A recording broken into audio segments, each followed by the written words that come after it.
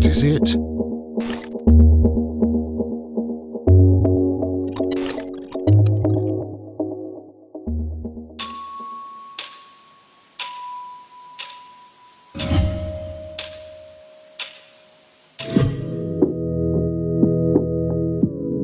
Poche categorie descrivono il Made in Italy in maniera più ampia e condivisa del senso di comunità, un senso di appartenenza che pervade tutta la storia dell'arte italiana, dalle origini fino agli artisti più contemporanei. Una attinenza a una tradizione del passato, a un patrimonio condiviso con cui tutti gli artisti di ogni epoca e generazione hanno dovuto misurarsi.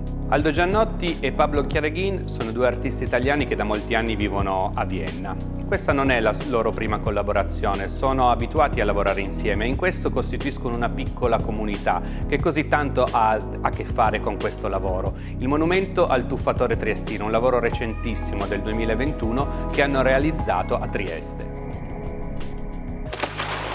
Monumento al Tuffatore Triestino, so Monument to the Trieste Diver, is a work uh, realized in collaboration with uh, Pablo Chiereghin. We could call it uh, a sculptural collaborative performance uh, work. Which actually uh, was a, also a participative event where we invited people to jump uh, on an elastic trampoline in the middle of the city and uh, through this we uh, were uh, studying actually which kind of movement we could use to focus on the monument we wanted to create.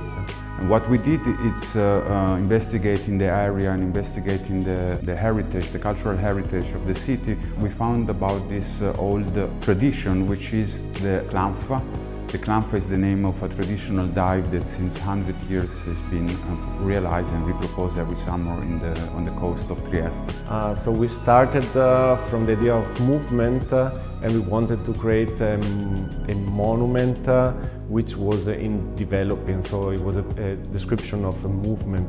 What we were trying to do with this uh, installation is try to reshape the way that we approach monuments. The monument itself, uh, it doesn't exist uh, if nobody steps on it and use it. It's a project that is not only made in Italy and it's not only made with uh, uh material like the, the, stone and the marble that you find in the Aurisina, so in this uh, uh, environment, but it also contains a form of openness towards the participative element of things that is in, in, in my way of understanding or, or experiencing is very Italian. The idea of this monument starts from involving people. The monument doesn't work if the people don't step on it. And this is for us typically Italian. Il monumento nello spazio pubblico è sicuramente una delle caratteristiche che contraddistinguono l'Italia, il Made in Italy all'estero. Eh, I turisti, le persone di tutte le generazioni, di tutte le età che vengono in Italia eh, scandiscono il loro stare in Italia attraverso la visita a monumenti, a siti della tradizione e del passato. In questo caso Aldo Giannotti e Pablo Chiereghin rendono un landmark, rendono eh, monumentale un gesto, un gesto collettivo, un gesto di una comunità che viene in questo modo fissato per sempre.